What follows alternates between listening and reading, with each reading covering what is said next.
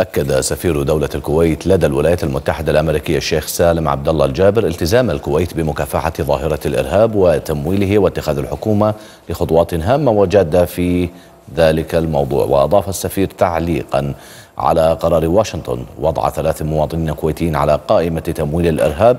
أن دولة الكويت أقرت قانون مكافحة الإرهاب وتمويله وأنشأت الآليات التنفيذية لتفعيل هذا القانون وشدد الشيخ سالم الجابر على أن دولة الكويت مستمرة في التعاون مع الولايات المتحدة والمجتمع الدولي في مكافحة هذه الظاهرة الخطيرة في الوقت نفسه أوقف موقع التواصل الاجتماعي تويتر اليوم حسابي كل من شافي العجمي وحجاج العجمي وجاء ذلك بعد وضعهما على قائمة الإرهاب